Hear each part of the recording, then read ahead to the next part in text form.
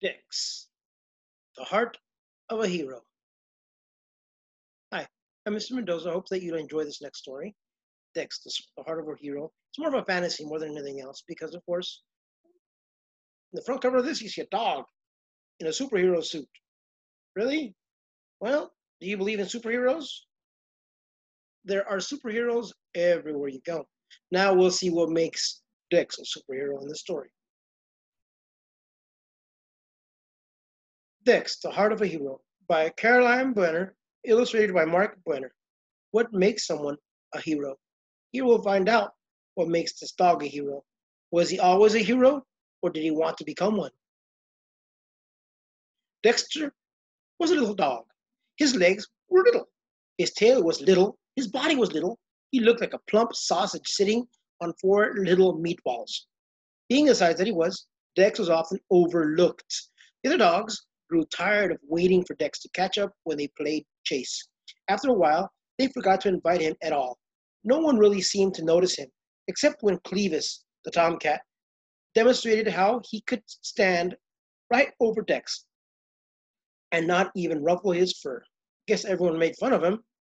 Okay, eh, he's not a superhero now. If everyone's making fun of him, there's an illustration to show how everyone's always laughing at him, especially Clevis, the tomcat. Yes, everything about Dex was little, except for his dreams. He wanted to be a hero. He could just see it. The mighty Dex flew up into the dark and starry night. This is a caption. This little square right here is a caption, and you'll see this in comic books. He had a dream, he had a big dream, I guess to be a superhero. How is he going to get there? Look, he's studying. And it says in the captions, furiously he studied, knowing everything depended on him. Let's read. But wanting and being are two different things. Dex lived on dreams until one day, after crawling out from under Clevis yet again, he decided there had to be more to life than gazing at the underside of a cat. There he had to be more to him. There had to be more to him. If he could be a hero, he would. So Dex started training. He read every superhero comic book he could find he watched every hero movie ever made. He went to the library. How else did he start training? He said he started to train. What do you do to train? He read books about superheroes. He went to the library, watched movies. What else? How else do you train? Dex figured that a hero must have strong muscles. He needed exercise and lots of it. Ah, oh, that's good training. Dex started trotting to the corner and back every morning. He hopped over every crack in the sidewalk. He struggled to climb the garbage pile up and over and down, then up and over and down again.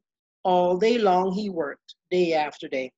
Even at bedtime, when he wanted to flop on the rug with his tongue hanging out, Dex forced himself to circle five extra times.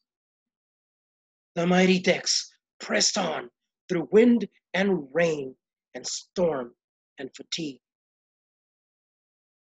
He's training. I wonder what'll happen to him. And he's training some more. Now he has socks with something in them. Now I, I call that weight training. When it got easier to run to the corner and back, Dex did it again and then again. Then he dragged the sock filled with sand as he ran, and then two socks.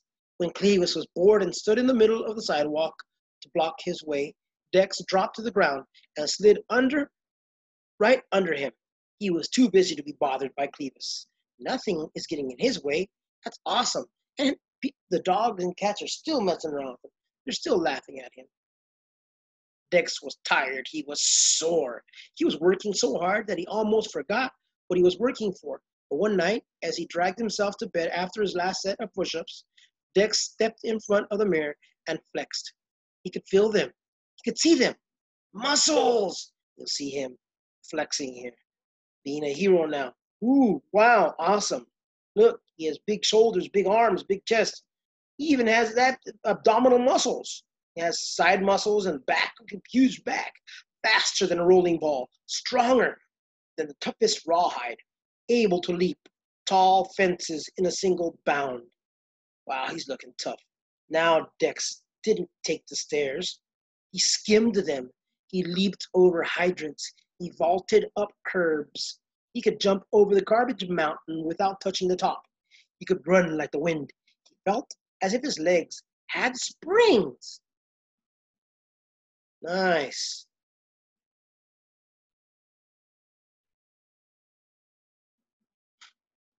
Only one thing was missing. Finally, a small brown package arrived. Dex ripped it open. His hero suit. It was red with a shiny green cape, and it fit like a glove. Dex loved the way it felt. He loved the way it looked, and he loved the feeling he had won when he put it on. He was ready. Remember, he had to read a lot. He watched a lot of movies, read a lot of comic books, went to the library, worked out. Now he's ready with his suit. What does the author mean when she says that Dex's hero suit fit like a glove? Look at it. How does a glove fit? Have you ever tried on a glove? With the courage of a lion, the strength of a bear, and the heart of a hero. When Dex went out in his suit for the very first time, he looked up the street and down. He noticed a young pup trying to cross the street. Dex sprang into action. May I help you? he asked. He guided the wide eyed pup across the street and grinned as the pup stared at him, his mouth hanging open. The pup whispered, Wow, it's Super Dog. Super Dog. Dex liked that sound of that. Dex liked the sound of that. Oh, he first helped the puppy cross the street. I wonder what else is he to do? Of course, when Clevis saw Dex, he just had to comment, Hey, Dex, where's the party? Dex was so busy that he was able to ignore Clevis for the most part. The only time his face ever got red was when Clevis yelled, Where'd you get that dress up? Dex had to wonder if Clevis saw anything but the suit. Didn't he understand that the suit was just a way to let people know he was there to help? The sun glinted off his emerald cape as Superdog raced to the rescue. Now who is now is he going who is he going to help? Oh, a rat? Looks like a dog stealing a purse? Hose? He's not fixing a hose. Hmm. There was a mouse he saved from an, a sewer, a purse snatcher he tackled. He fixed his neighbor's sprinkler. So he did quite a bit there. He found a lost kitten, pulled a rat away from a live wire, tracked down a lost wallet, put out a trash fire, and organized a neighborhood cleanup day. It seemed that now, whenever anyone needed help, they turned to Dex, and Dex had never been happier. Ah, uh, he's quite a superhero now. Awesome. Late one evening, there was a banging on the door. When Dex answered, it seemed as if the whole neighborhood was yipping and yowling in a panic. It's Cletus! They shouted. He's stuck in a tree! Hurry, Dex! Hurry! Dex raised his eyebrows. It was not like Cletus to move enough to get into any trouble. In a flash, he was dressed and ready. It was clearly a desperate situation. As he got closer, Dex could see Cletus. He had been chasing a squirrel to the top of the tree but had slipped and was hanging by one claw from a slender branch. He was yelling for all he was worth. I'm slipping! Clevis screeched, Help me! Dex looked desperately around for something to climb on.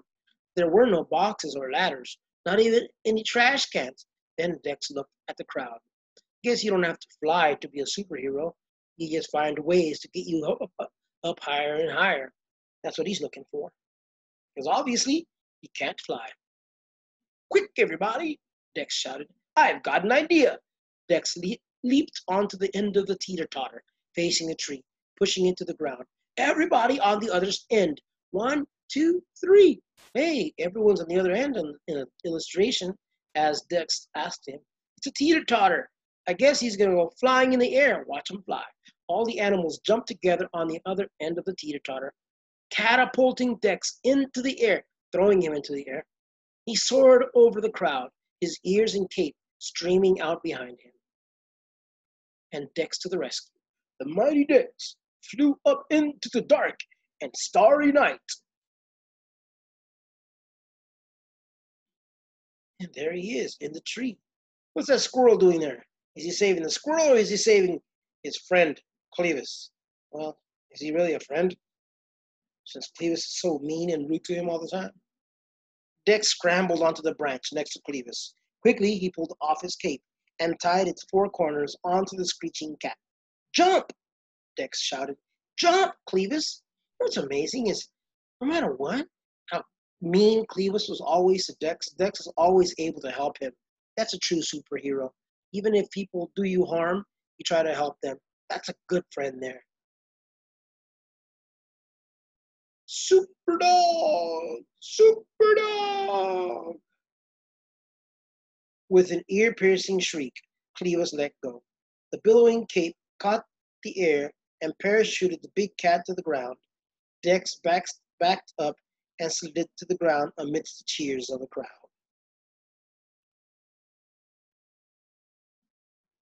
He let go, and he's flying through the air.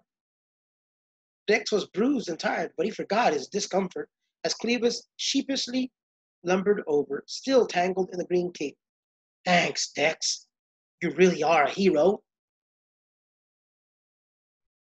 Dex didn't think he could feel any better, but he did, just a little. The next day, when Clevis sidled up next to him and whispered, Say, Dex, can I be your partner?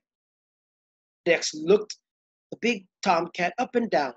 It would take a lot of work to turn Clevis into a hero. He could hardly wait. Sure, said Dex with a grin.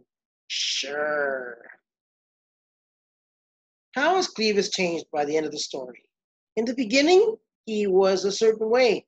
At the end of the story, it was much different for him. How did he change? Think about Clevis also.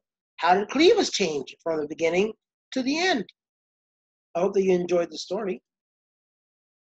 With twice the brains and triple the brawn, our heroes forge on, ever ready to lend a helping paw.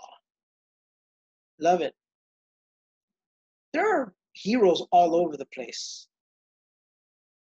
When you compare one thing to another, like using like or as, for example, the dog ran as fast as lightning. It's a simile. It's comparing the dog's speed and how fast he ran to the speed of lightning. What makes someone a hero? Time for you to think about writing about hero qualities and enjoy it. There are heroes all over the place, like Dex. There are heroes a long time ago, and there are heroes now. Heroes then and now. What makes a hero? Everyone has a different thing about heroes. We have many different heroes all across the world, like Amelia Earhart and Ellen Ochoa. There were two female heroes. There's also Sacagawea and Earl Morse.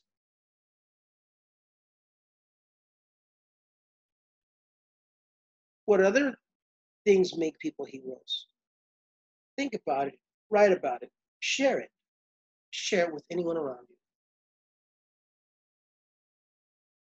I hope you enjoyed this reading Uh, and look for more. Or if you haven't subscribed yet, subscribe to this channel so you can see everything on this channel. I think that's the only way that you will be able to see everything is if you subscribe. Thank you.